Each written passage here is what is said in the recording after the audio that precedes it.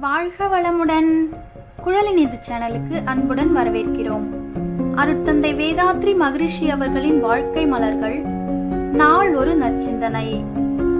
September இருபத்தி மூன்று பிரவிற்த்தி நிவர்த்தி மார்க்கங்கள்.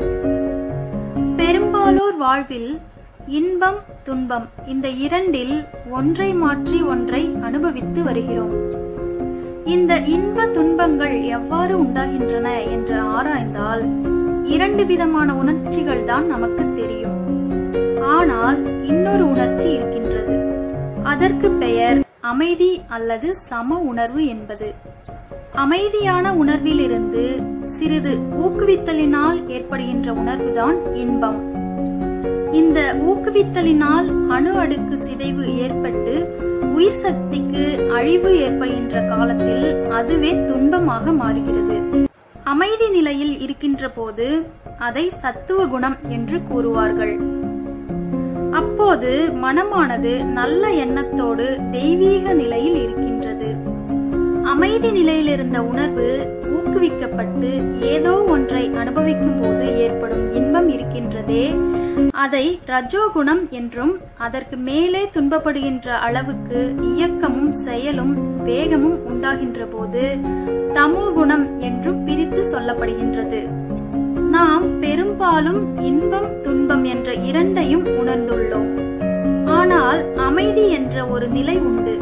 அதை தெரிந்து கொள்ள வேண்டும். பசி எடுக்கிறது அது துன்பமாக உணரப்படுகிறது. அந்த பசியை உணவினாலே நீக்கிக் கொள்கின்றோமே அது இன்பம். துன்பத்திலிருந்து மீட்டுக் கொள்ளும் ஒரு இதம் இருக்கின்றதல்லவா? இதை இன்பமாகத்தான் கொள்ள வேண்டும். இப்போது பசி நீங்கிவிட்டது. இன்பமும் இல்லை துன்பமும் இல்லை. அந்த இடத்திலே அமைதி இருக்கிறது. அதுதான் அமைதி என்பது.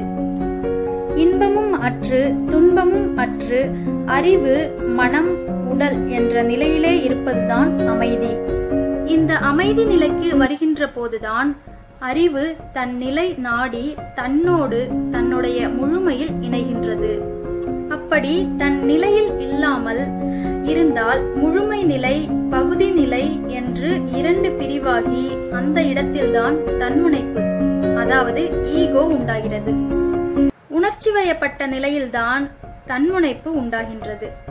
அங்கு பலவிதமான முரட்டு செயல்களும் நோய்களும் தீச்செயல் பதிவுகளும் உண்டாகின்றன. தன்முனைப்பை மாற்றி வாழ்வோம். வாழ்க வையகம் வாழ்க வளமுடன்.